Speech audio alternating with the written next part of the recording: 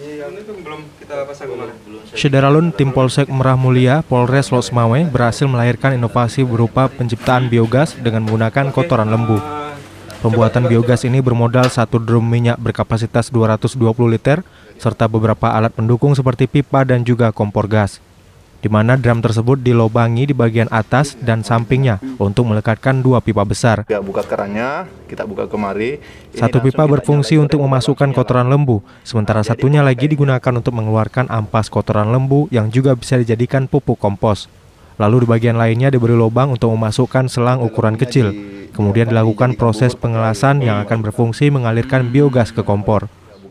Selanjutnya di dalam drum tersebut diisi sekitar 2 per 3 kotoran lembu setelah diendapkan sekitar satu pekan, maka di ruangan yang kosong, biogas akan muncul dari drum tersebut. Bisa kita manfaatkan untuk masak memasak kebutuhan rumah tangga sehari-hari.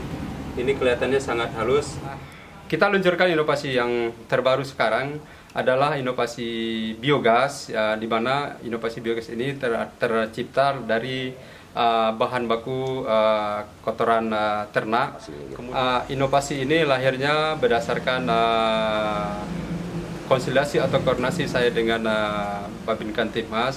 Kemudian timbul ide terkait regulasi uh, peraturan uh, Gampung tentang kanton ternak yang ada di Kecamatan Murah Mulia. Kami menilai uh, berdua dengan uh, Babin Kantipmas Birka Hamjaya terkait dengan uh, terbuangnya kotoran ternak yang ada di desa-desa terkait uh, telah di kesadar telah adanya kesadaran warga terhadap uh, lembu mereka, piaraan mereka uh, dikandangkan sehingga kotorannya itu tidak tahu dimanfaatkan untuk apa sehingga lahirlah program ini karena bahan bakunya bi biogas ini adalah merupakan dari bahan baku kotoran ternak. Untuk selanjutnya kami akan kembangkan uh, untuk inovasi ini dalam bentuk uh, skala besar jadi tidak lagi dalam bentuk uh, apa wadah uh, drum. Kemudian uh, nanti akan kita buat uh, kolam.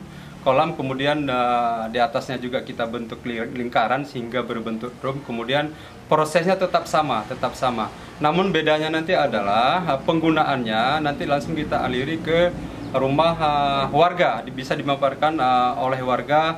Mungkin target kita awal itu hanya 5 kakak dulu atau uh, 3 kakak jadi kita melihat uh, nanti dari kebutuhan yang akan timbul dari bahan baku yang akan kita gunakan. Kita mengupayakan uh, proses pengolahannya nanti tetap uh, di, ada berdekatan berdekatan dengan rumah uh, warga, namun juga tetap kita perhatikan uh, kita perhatikan prinsip uh, amdalnya dampak lingkungannya, jangan nanti terja, uh, tercemar uh, warga sekitar. Jadi nanti uh, tentunya bahan bakunya itu dari kotoran ternak, terus uh, tentunya ada lembunya juga seminimal mungkin, semaksimal mungkin nanti kita upayakan faktor kebersihannya. Kemudian uh, tidak terkendalanya bahan baku yang akan kita gunakan dalam kapasitas uh, besar. Kemudian keadaan uh, kandang lembu tetap kita perhatikan kebersihannya. Hmm. ya. Dari Losmawe, Saiful Bahri, Serambi On TV. Kemudian juga nanti yang kita jelaskan ada cairan.